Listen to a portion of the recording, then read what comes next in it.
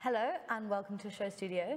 This morning we'll be discussing the Eckhaus Autumn Winter 18 show that happened last night in Bushwick.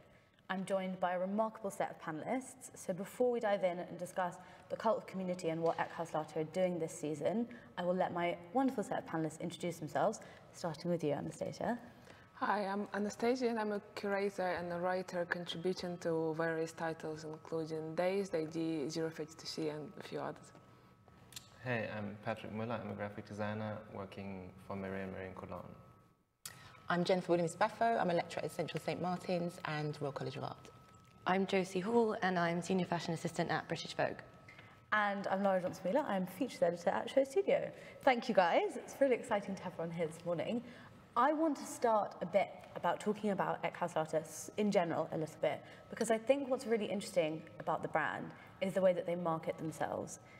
And so I really want to start with you, Anastasia.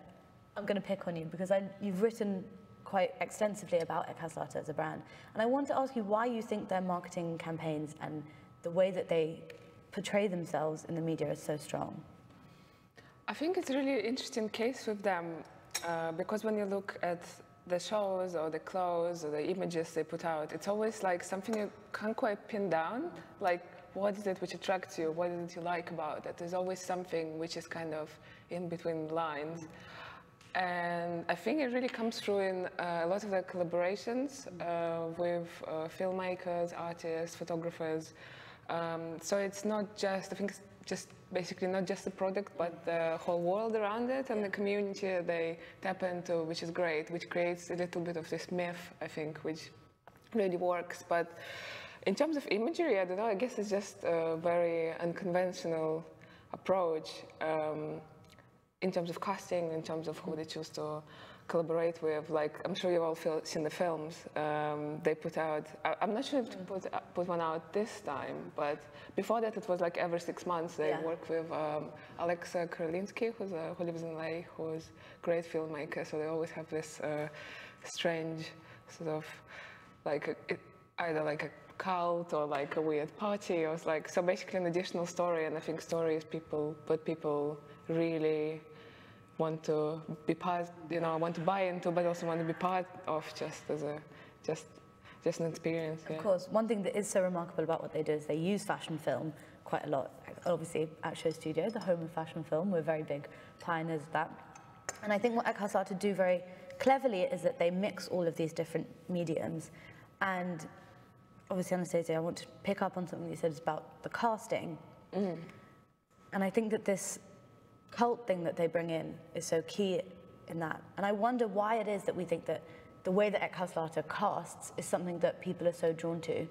Jennifer, I wonder, what do you think? I think what's going on at the moment is something we've been talking about a lot at, at um, the college is there's this kind of humanistic approach. Mm. People are beginning, because of what's going on socially, mm. um, politically as well. I think people are now thinking, look, we need to be a little bit more together, and it's not this sort of controlled kind of look anymore. Mm. It's funny because we were discussing it earlier. There is, a, there, there is this sort of particular type of person that they pick, but to me, I think people look real.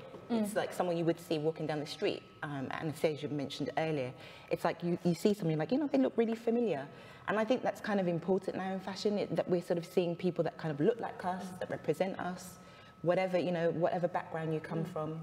Anastasia, you said that it was maybe something that you couldn't put your finger on. Do you think it's this idea that Jennifer's talking about? Do you think what you can't put your finger on about Eckhaus is inclusivity?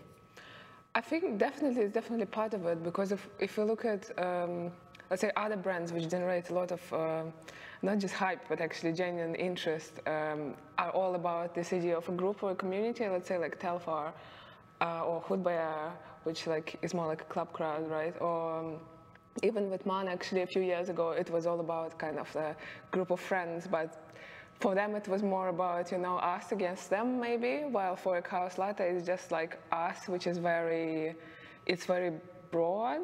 So you, you like can relate to it really easily because it's, it, it makes you part of it, but it doesn't cut out other people, which I think is a great thing, particularly to exist in the US at the moment in the whole political situation.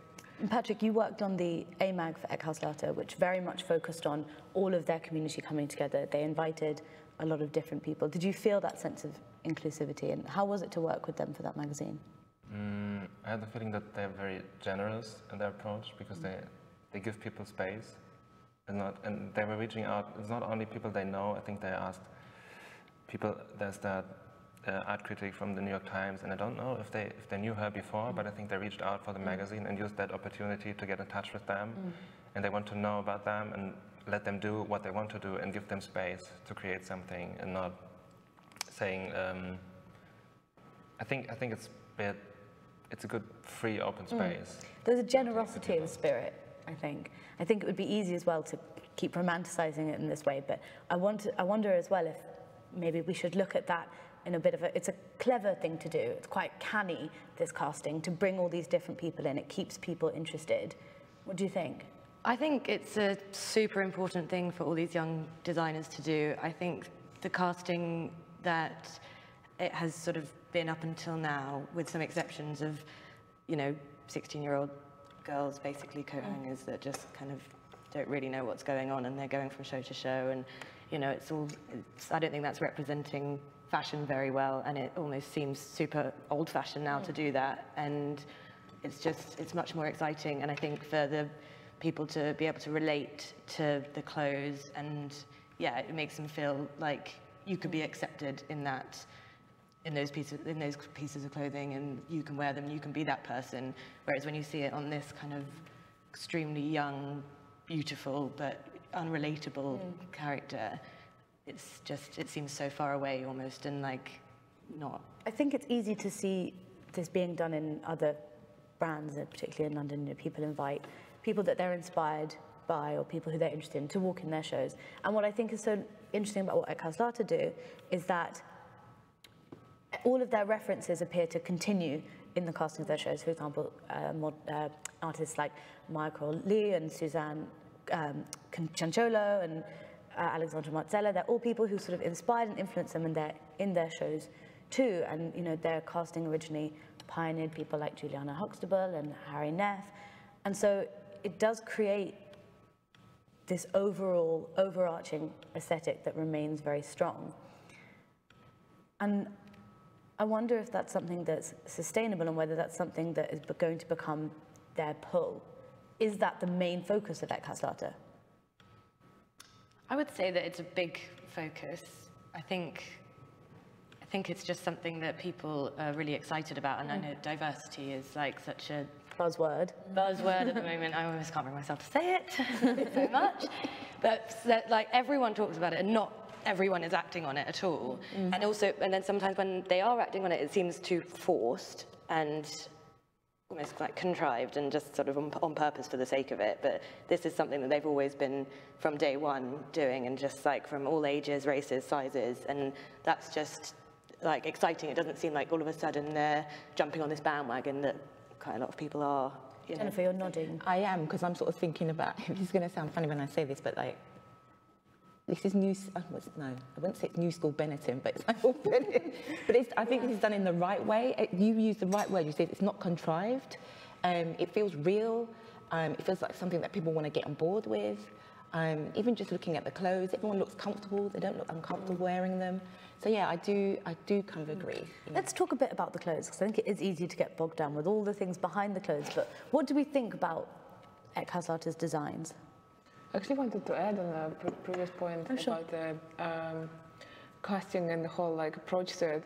I'm wondering how much is it gonna like spread in like more mainstream fashion and like how soon it's gonna happen and because it's definitely happening. Like let's say when obviously like Helmut Lang, like it's a major major brand but it's obviously Shane from Hood By Air, so he brought that uh, that idea of um, kind of doing his own like crowd as a um, so that's definitely going to make, make a change and um, when i actually was uh, doing my reports for milan men's for SHOWstudio i actually realized that it's like so it, it's it got it changed so much it got like i mean obviously not all the brands but brands which want to look more than You are feeling a real, real shift in the diversity. yeah, I think, I mean, obviously in men's where it's like not so much in the body type, obviously, because it's really like um, standard. But like, yeah, in terms of just types and like racial diversity, and again, not all the brands, obviously, but a few, two or three were like incredibly diverse, and that's very interesting to see. So I guess that's like, we have to thank brands like Karlslater for that, really. And I think it's so interesting that you mentioned different body types, and I do want to swing mm. it back to the clothes because I think what they do so well is design for different body types, and it's not that each design is specifically for that coat hanger silhouette. Mm. But they, those, sorry, they also do like, um, I mean, I don't know if it gender neutral, gender free. Basically, in terms of the cuts, their stuff is often not cut specifically for like a male or female body, right? So that's was in because I was reading about them a bit before, and I think that was actually the challenge for them to, for example, if you sell denim, right, you have to be you have to be known for actually making the right cut, like gen- gendered kind of thing. So that's interesting how it can become both your like work for your benefit, but also become a bit of a challenge. if USP you- and your downfall. Yeah. Yeah, I think it's interesting. Like, for example, I think in the, this collection, they've put someone who's larger in a like, tight knit dress, which is just interesting, I think, rather than trying to hide.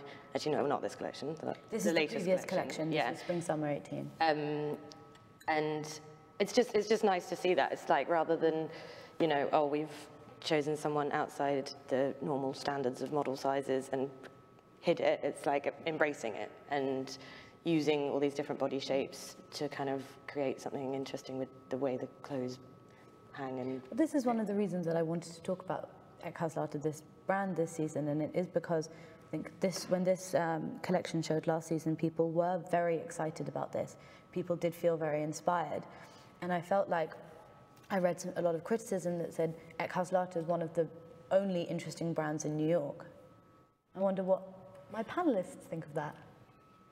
Um, I love the fact that, you know, again, talking about this humanist approach, that they use lots of natural fabrics, um, they recycle a lot. I think that's, um, um, as much as we, you know, it's been happening quite a bit, I think we're going to continue seeing that. Um, again, at college, a lot of our students talk about this a lot, how they can sort of recycle things, how they can sort of think about not just one type of person, but managing that, to me, my mind is sort of thinking, how are they managing their production? Because that's, mm. that's huge to sort mm. of deal with. When you're dealing with a particular type of size, you know, a standard 10, 12, whatever, that's easy to manage. But if you've got quite a big ratio of sizes, my mindset is sort of thinking, how are they managing their production? That must be really kind of mm. Having a knock-on effect on their, um, their cash flow Of course. business background. So I'm interested in that. And what would you say to them? How, how would you imagine a way to counteract that would be? Um, again, it's small run. You've got to kind of test it out. You can see from their progression, look at the clothes from the beginning up until now, that they're sort of testing things out. Um, I had a look on their website and they did have a lot of discounts. But I guess they're sort of, sort of, again, they're sort of looking at that. How is that sort of developing? How are they going to kind of plan the next range?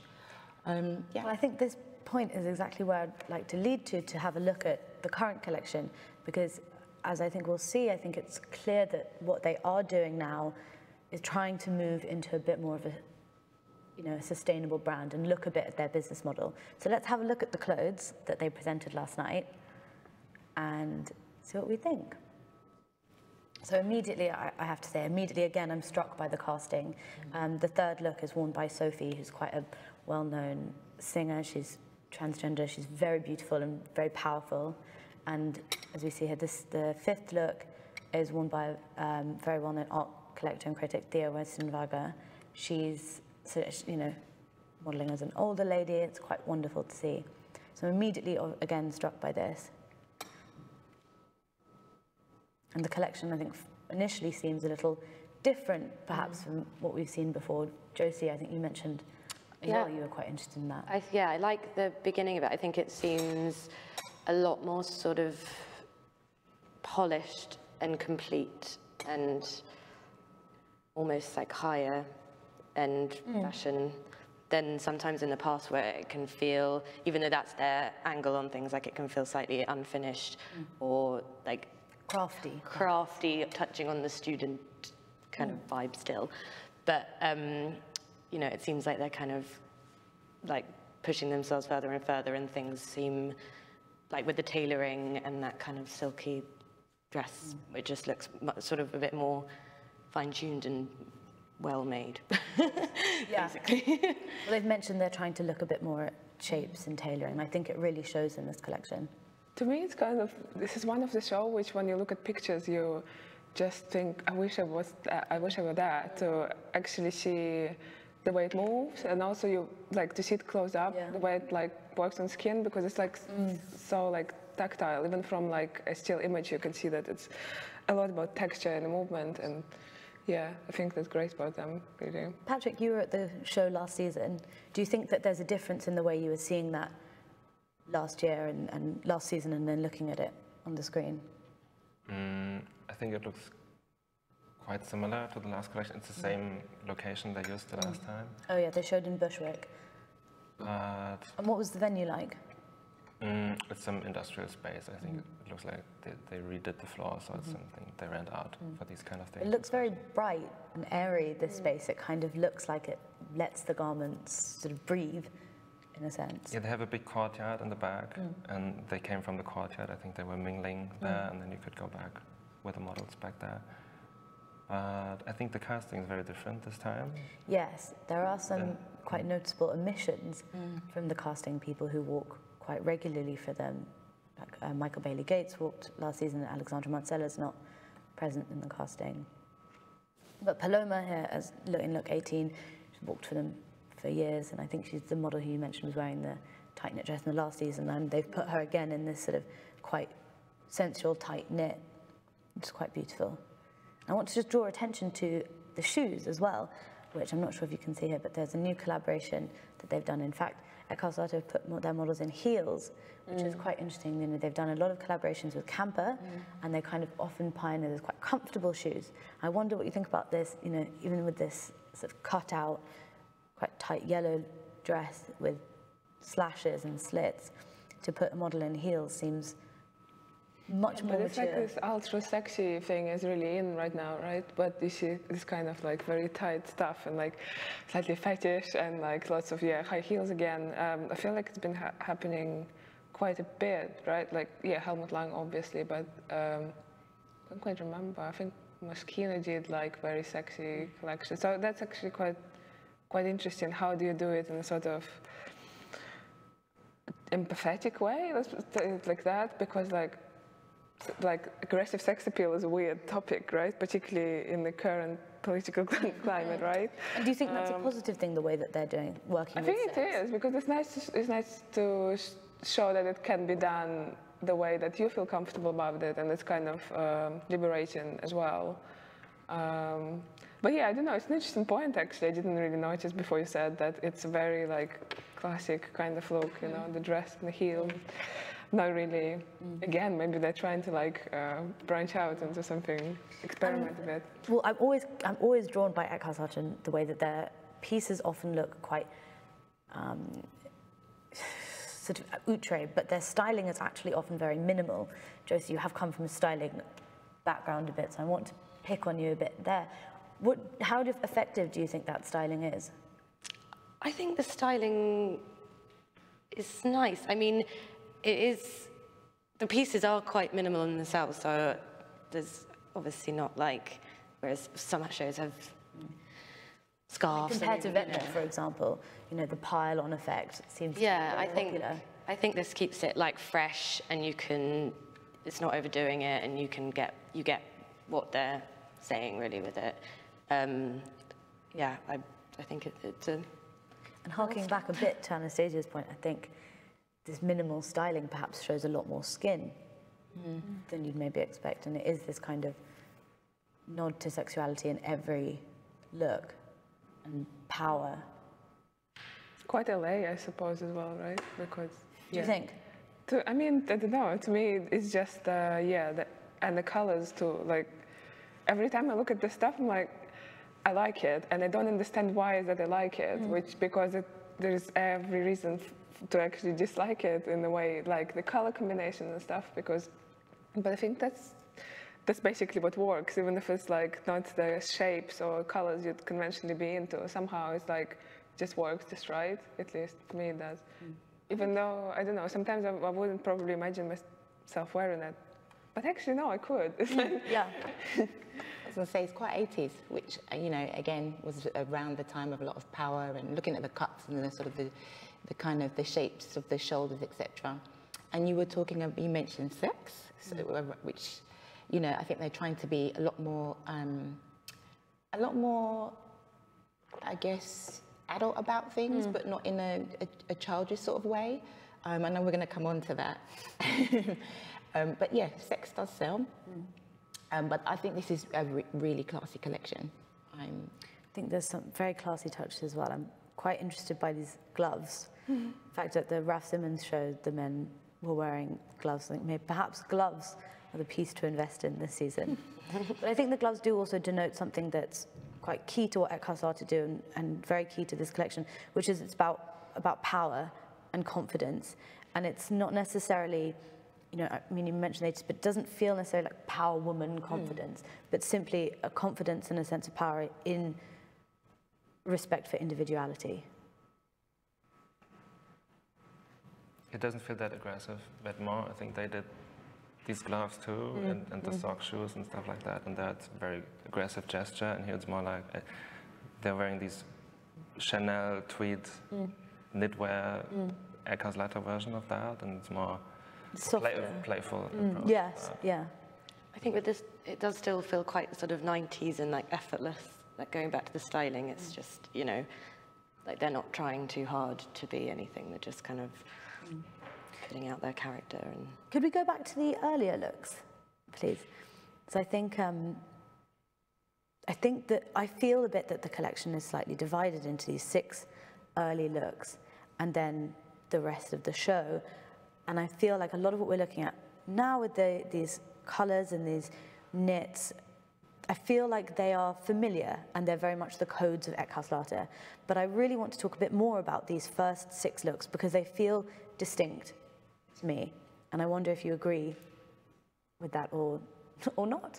maybe this is their sort of first statement, putting it out there, saying this is, we are moving forward slightly with the tailoring and it just looks more beautiful mm-hmm. almost than. I wonder what the price point for these pieces are because I've, I would imagine that the price point for these six looks would be a bit higher yeah. than the others. And you I can think tell because of the tailoring that's gone into it and the thought. I mean, even the dress that's bias cut, the silk mm-hmm. one. So yeah, definitely it's going to be a higher price point. I would be interested to know what fabrics they're using as mm. well. And also, it's very interesting the way that they've cut those jeans using the different fabrics. And again, I'd want to know. I guess I'll have to have a look that up. What, the, what kind of fabric they've mm. used there, because that's quite interesting the way they sort of mix that up. Is Is any of it leather?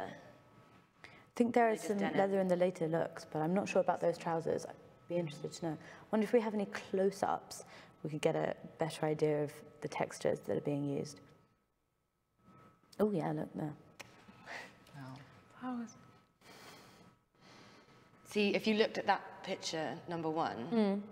you wouldn't say Eckhaus Latta, I think. No, I agree. you wouldn't. But, that's But it's nice. Yeah, the question for me is like, because they have re- this really distinct style and distinct pieces, but like, how much can you grow and? Basically, how much can you use it as your thing and mm. not so people don't get bored of you and so they invest progressively more and more money mm. into this stuff. So I don't know. That's pretty interesting because that involves a lot of challenges and why you take your brand and how.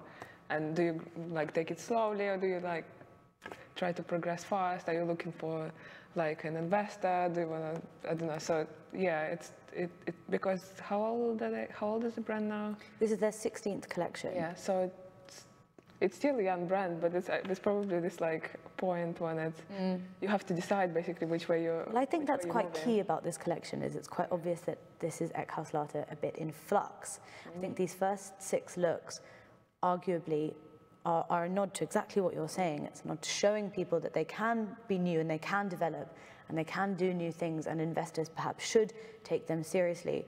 But at the same time, not forgetting their backgrounds and where they come from and what they're doing and what makes them happy is, you know, these playful, inspiring pieces of clothing that you don't know why they work quite, but they do. And I think what they, these last pieces show as well is that Eckhaus Latta, I think perhaps Nick Knight said this at one point, but he said that um, Eckhaus Latta, when he spoke to them, couldn't quite tell whether they were artists who'd come into fashion because it seemed like the way that they were best at expressing themselves, or, or whether fashion was something that they really wanted to pursue. And I think that's quite interesting in what they're doing. And I think with this collection, they're showing that they want to be taken seriously as designers.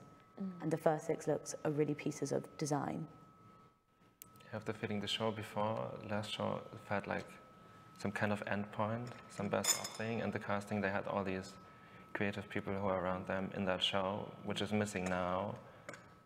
And I think you can, I don't know, maybe it was working on the A magazine, but it felt like they were running a magazine. They're pulling all these creators into their world and letting them want to do projects with them. It's not that they're ambassadors and they're just wearing the clothes on the street and they get photographed or stuff like that. But it's like they they want to branch out with these people. They want to work with them, and now it feels more more fashion in a mm. professional sense. And it's not like we want to work with artists. I want to be with our friends and do stuff like that. It's like So now they're moving forward in the industry with a bit more gusto.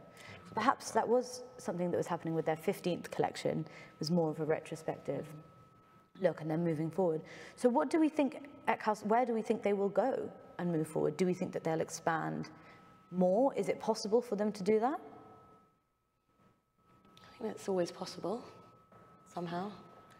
I think they've probably still got quite a way to go. They're still considered the, the fresh, young, cool kids on the block. And do you think that's helpful What, to have that? to be considered young and fresh and cool? Uh, yeah, yeah. I think that's a big thing. I'd say there's like four brands out there, probably that are four or five that are doing that. And with the young people these days, with things like Instagram, everyone you mm. know can latch onto it and feel like they're part of it. And otherwise, then what's the whole point, really? I know you're going to hate me for asking this question. What? But is Vogue interested in Eckhaus Latta? The new Vogue? Well, I don't think I can say. I don't know. I'm Brands- interested. Brands like Eckhaus Latta, do you think that, you know, it's interesting that they're in New York and people like us are talking about them? I mean, all, it something of course, so like in? all the editors are there at the show, but it's not. It's not like they're being. Spotlighted. n- Not. I mean, I don't know. But why is that? Why are we so keen on pioneering a brand like this? I know my, my reasons, but I'm really keen on hearing what you guys think. I think it's quite interesting that it, com- it comes out of New York, which is um, kind of known. New York Fashion Week is known to be like more commercial. Um, like London always has the most like. Yeah, everybody's nodding really happily. always has um, has like the most sort of creative, odd, crazy stuff like Charles Jeffrey, let's say, or brands like this. Um, but New York hardly ever has it. But it has, yeah, it has Eckhaus Latta. It has Telfar, which are and like Hood By Air. So like those are probably three, which fine. Yeah, off but off is a bit like it. It's gone a bit. It's not as like Yeah. gra- it doesn't feel as grassroots anymore as, as this stuff feels. Yeah. I'm interested in this idea that we, we often group these brands together. So Eckhaus Latta, Yeah. Telfar, and I, I think Vaquera often sort of lumped into this. And we were talking about this quite a lot yesterday on our Telfar panel. And I was saying that I, I don't think that's something that necessarily we do in London. We mm. don't really group these young brands together so much as, it, as is happening in New York. And I wonder, is that because, you know, eclectic brands are less common in New York? Or I would. we're just a bit removed? What do you mean we don't group them in London? I think. I think there are probably obvious groups of young designers. Do you think? Like we have our group of young designers. Specifically? Um, people like Charles Jeffrey or Molly or. Uh, or that, that kind feel of like age, the and then I guess there's the I feel like the difference is that we're not generation. talking about designers like Charles Jeffrey or Molly Goddard in a separate way to who, when we're talking about more established designers on the mm-hmm. British schedule, Yeah. like you know perhaps Burberry and Christopher Kane. We're talking about them simultaneously. Mm-hmm. Whereas I think the difference with a lot of what the commercial, bigger commercial brands in New York are doing is talked, spoken about separately. Mm-hmm. And I think that's been, is evident, and we mentioned this yesterday, the CFDA have decided to create a specific season for non-binary and non-gender specific brands. And Eckhaus and Telfar have been, in, oh, well, I'm not sure, but presumably will be included in this. And I think that that's not something that is happening in Britain. Do we think there's a difference in the, in the climate between these two cities that makes that distinction?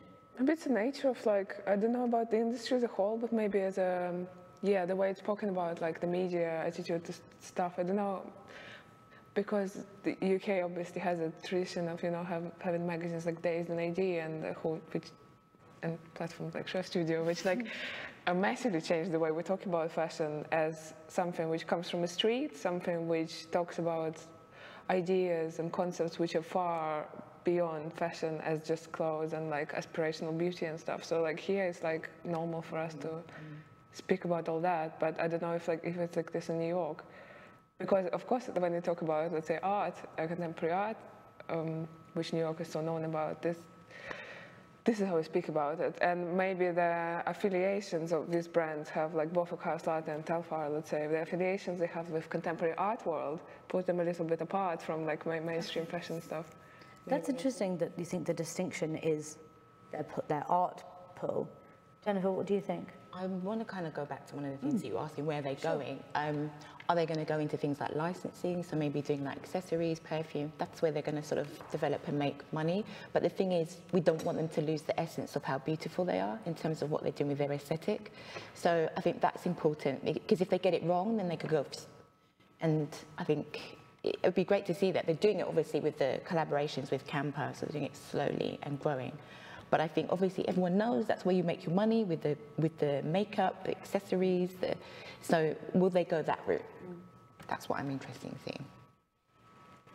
So would you like to see perhaps more collaborations, smaller ways to buy into the Yeah, brand? smaller collaborations. Um, I don't want it to grow too fast, otherwise we're going to lose that essence. We don't want it to become too corporate. Um, but again, on the other hand, you can see they're trying to be a little bit more, you know, taking care of what they're doing and making sure that they're taken seriously in terms of their aesthetic.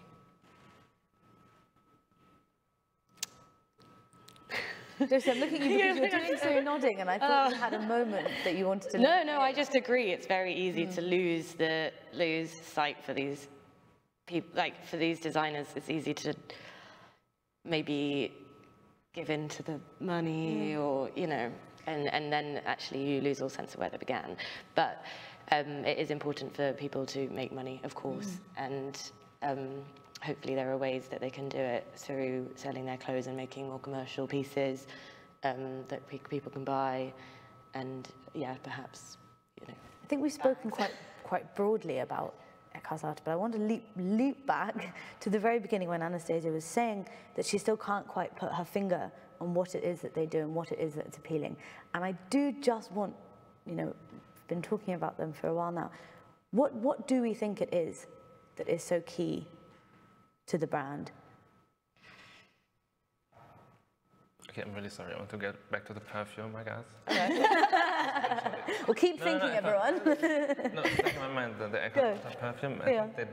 They, did a scent once with Bjarne Melgaard, I think like you have. They did. They did a collaboration. sniffing with- it yeah. on that ad. Yeah. I really like that, and I think they could come up with something like that with an interesting collaboration. Yeah. I think it's not very mainstream with Bjarne Melgaard, but it kind of could work in perfume and do a big campaign with interesting images. I think you're right, and I think the smart work. thing about what they did with that was that they did what you're saying, which is kind of this thing to buy into, but being very Eckhaus Latta, they subverted it, and so to work with an artist like Bjarne Melgaard, they twisted that idea of just like a commercial buy-in. I think it's good. A perfume ad. It's a big thing. It has a big name on it. Mm, and yes, this, yeah. portrait of someone. Yeah, Yeah. Yeah. it's a nice genre to work with. And again, it brings us back to our, my initial opening question, which is why their imagery is so strong. I mean, what is it about this that is so strong? It's so the opposite of your like conventional perfume advert. It's always got such a all perfume ads are you know they're completely separate to the brand usually, and it's all glamorous and always the same really. But this is just the total opposite. I love the guy's um, tan line as well. Oh, yeah, I didn't notice that. There's a sense of humour with it. Yeah. In, you know, with other campaigns, it's like high gloss, as you were saying, there's high gloss and high. But it's not, it looks, He's sniffing poppers really. yeah. And the sense of humour is inherent in everything they do. If we look at the other campaign that I'm very interested in, the uh, campaign of real people having sex in their clothes, it's, it goes back to exactly what you were saying, Jennifer. It's very human, it's very real, but it really captures the essence of that brand. It's, you know, it's, it's sexy without being slutty. Yeah. Also, people are being really safe these days with everything that's going on in the industry. Um, and so it's nice to see that there are still people like pushing the boundaries and doing something different and not like taking everyone's mm. like, taking it all too seriously, basically. I mean, this campaign got a lot of people talking. It was a lot of juices flowing in many different ways. We pardon the pun. but it really did. It really created a bit of a stir. But even their most recent campaign for their denim brand, it still has that very unique pull and their very unique. Here you can see it on the screen now. It's humorous, and it it's distinctly them. This carnivalesque makeup with these very tight, kind of sexy jeans. I guess you just have to think these days. I have, I have a feeling it's so much fashion imagery out there every season, every day. There's like new stuff. So you really have to think about how do you do it differently, but also how do you still show your product. So it's like, I suppose, yeah, that's the key. It's like subversive, but, but it's also not taking yourself too seriously. So mm-hmm. I guess that appeals to people. So. Mm-hmm. And I think what it is is that it's it's true to who they are. Mike and Zoe, they're you know, it's about intimacy and being close. And all the people they bring in are people that they're close to and people that they like and laugh with and respect. And perhaps to answer my question that nobody wanted to answer, that's the key and that's the pull. And it's not that you look at the show and you look at all the people and you can count the characters, but it's that each of those people is important to them. I think also they've got that sort of anti-establishment thing still, which mm. people always love. Otherwise, it all gets a bit boring. How long will that last? It's like it's like authenticity, right? Uh, everybody's like crazy about something authentic, and it often comes in really odd um, shapes these days. Like, for instance, when everybody were so east, into Eastern Europe or something, that was perceived as something like from the fringes, and Right, right. but then it became quite a, a bit of a caricature itself quite quickly. So with them, I guess it's that like capability of having this authenticity somehow. Yeah, how long will it last, and how do you how do you actually hold on to it, and what is it, which is at the core of it, is a big question. I think it's down to the two. I think it's down to Mike and Zoe, them sort of continuing what they're doing and loving what they're doing and growing what they're doing. And again, not being too corporate, um, because that, I think that's when it when it dies. If you kind of go into that route, then you'll lose it and people won't believe in it. So if they just continue, keep doing what they've been doing, slowly grow slowly, then perhaps then they can maintain that. Um, yeah, otherwise, uh, it, it would be interesting to see, see where they are in another couple of years' time. Well, hopefully we'll reconvene at that point. Thank you everyone very much for joining me. And I think we should just give a quick round of applause to Mike and Zoe for yet another beautiful collection.